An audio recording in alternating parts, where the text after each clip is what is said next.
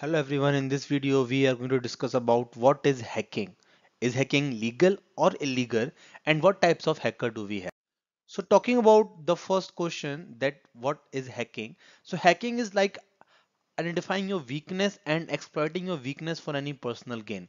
For example, let's say using any algorithm to crack a password is an example of hacking. Now before we go any further, First of all, let's talk about some of the most common used terminologies in the world of hacking. Number first question comes is who is hacker?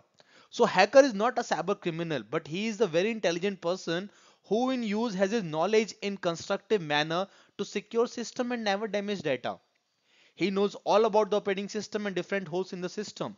He can disclose or he can vulnerate or exploit depending upon the target.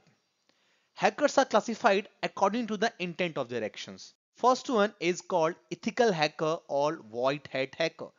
The name itself signifies the meaning. Gain access to a system with a view to identify the weakness. Perform penetration testing and vulnerability assessment and try to disclose any loopholes if found. Black hat hacker. Black hat hacker as the name signifies will be illegal they gains unauthorized access to any computer system for personal profit. The intent of these hackers is usually to steal the corporate data, your account details or transfer funds from one account to another which is completely illegal. Then we have grey hat hacker. These hackers lie between ethical and black hat hackers.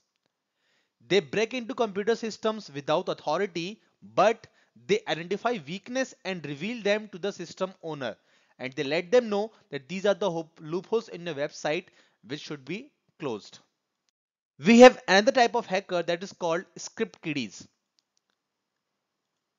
Script kiddies are non-skilled hackers.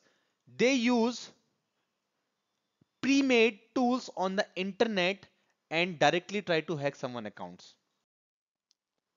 We have hacktivist hacking to send social, religious and political messages to someone and this is mostly done by hijacking a website and leaving the message on the hijacked website. At last we have Phreaker. They act Phreaker identifies and exploit weakness in telephones instead of computers. They try to psychologically play with the mind of the target by giving them a call. So these all types of hackers are classified according to their intent. Thank you.